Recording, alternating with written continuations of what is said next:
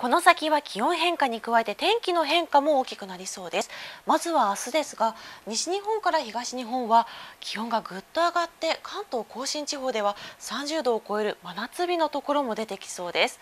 一方で北日本は上空に強い寒気が南下してきます。このため北海道は金曜日を中心に雪の降るところもありそうです。そして週末になると高気圧に覆われるため日差しの出るところが多くなりそうです。ただ日中の暖かさは控えめで朝晩はひんやりと感じられそうです。そして週明けになると再び低気圧がやってきます。このため月曜日は西日本を中心に雨が降り火曜日になると東日本や東北でも雨が降るところありそうです。ではこの先の全国の天気です。北海道では金曜日雪の降るところがあるでしょう。関東地方も明日はぐっと気温が上がりますが週末にかけては10度近く気温が下がる予想です。気温変化で体調を崩さないようにお気をつけください。沖縄は曇りや雨の日が続くでしょう。